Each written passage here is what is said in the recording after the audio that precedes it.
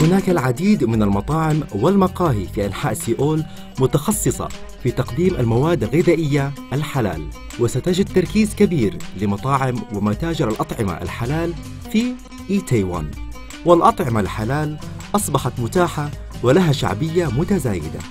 ولذا فإنه ليس هناك شك في أن المزيد والمزيد من المطاعم سوف تبدأ في تقديم الخيارات الحلال في المستقبل القريب. ويجد الزائر لإيتايوان عدة خيارات من الأطعمة الهندية والتركية والعربية تقدم له في عدد من المطاعم الحلال.